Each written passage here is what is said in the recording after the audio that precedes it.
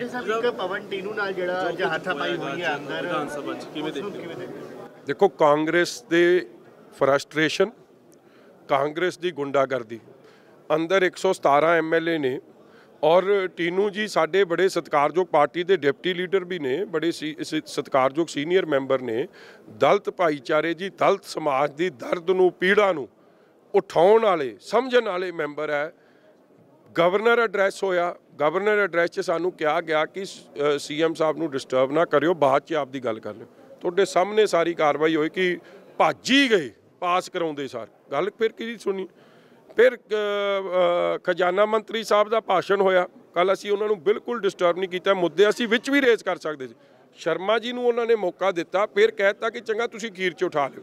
ਅਸੀਂ ਸਪੀਕਰ ਸਾਹਿਬ ਦਾ ਸਤਿਕਾਰ ਕਰਦੇ ਹੋ ਬਹਿ ਗਏ। ਮੁੱਦਾ ਕੀ ਹੈ?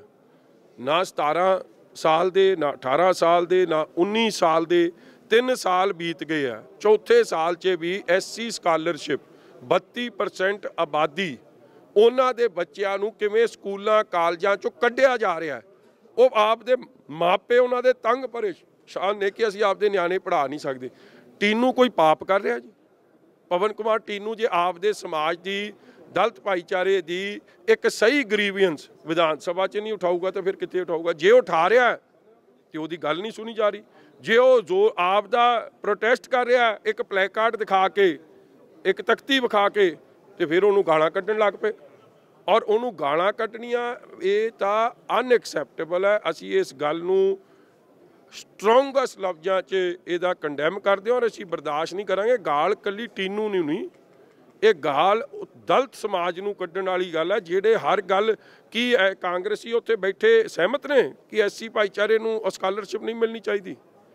ਜਾਂ ਕਿਸੇ ਨੂੰ ਪੈਨਸ਼ਨ ਨਹੀਂ ਮਿਲਣੀ ਚਾਹੀਦੀ, ਸ਼ਗਨ ਨਹੀਂ ਮਿਲਣੀ ਚਾਹੀਦੀ? ਜੇ ਕੋਈ ਉਠਾ ਰਿਹਾ and specially I think responsible members ਹੁੰਦੇ ਆ, ਜੇ ਕੋਈ ਦਲਤ ਭਾਈਚਾਰੇ ਦੀ ਗੱਲ ਆਉਂਦੀ ਹੈ ਸੋਸ਼ਲ ਹਾਰਮਨੀ ਦੀ ਗੱਲ ਆਉਂਦੀ ਹੈ ਜੇ ਦਲਤ ਸਮਾਜ ਨਾਲ ਤਰੱਕੀ ਕਰੂਗਾ, ਫੇਰ ਹੀ ਪੰਜਾਬ ਤਰੱਕੀ ਕਰੂਗਾ।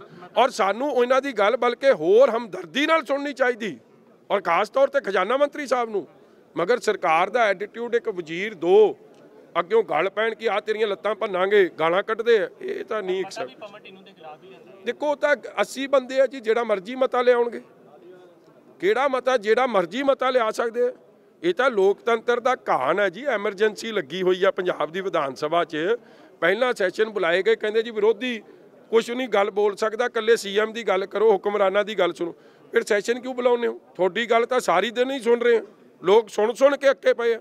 ਆ ਬਜਟ ਪੇਸ਼ ਹੋਇਆ। ਬਾਹਰ ਕਿਸੇ ਨੇ ਖੁਸ਼ੀ ਮਨਾਈ? ਕਿਸਾਨ ਖੁਦਕੁਸ਼ੀ ਪਰਿਵਾਰਾਂ ਨੇ ਮਨਾਈ ਕਿ ਸਾਡੀ ਗੱਲ ਸੁਣੀ ਗਈ? ਨਹੀਂ। ਕਿਸੇ ਨੌਜਵਾਨ ਨੇ ਮਨਾਈ ਕਿਸੇ EMPLOYE ਨੇ ਕਿਹਾ ਕਿ ਸਾਡਾ ਡੀਏ 28% ਰਿਲੀਜ਼ ਹੋ ਗਿਆ ਕਿਸੇ ਨੇ ਨਹੀਂ ਮਨਾਈ। ਦਲਿਤ ਪਰਿਵਾਰ ਨੇ ਮਨਾਈ। ਜੇ ਅਸੀਂ ਅੰਦਰ ਆ ਕੇ ਗੱਲ ਕਰਦੇ ਆ ਉਸ ਗੱਲ ਨੂੰ ਦਬਾਇਆ ਜਾ ਰਿਹਾ। ਇਹ ਐਮਰਜੈਂਸੀ ਹੈ।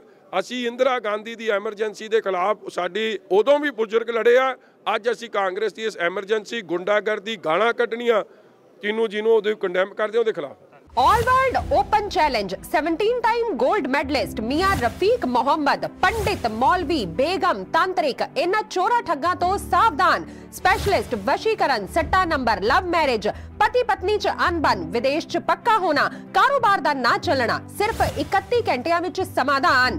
Free free free Mian Rafiq Mohammad, mobile 84374 94647 84374 94648